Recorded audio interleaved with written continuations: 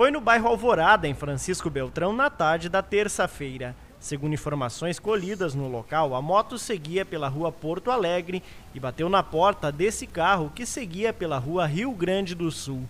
O condutor da moto sofreu ferimentos leves e foi encaminhado à unidade de pronto atendimento pelo Corpo de Bombeiros.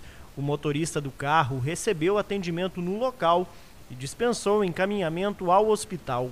Uma equipe do Debetran controlou o trânsito no local durante o atendimento.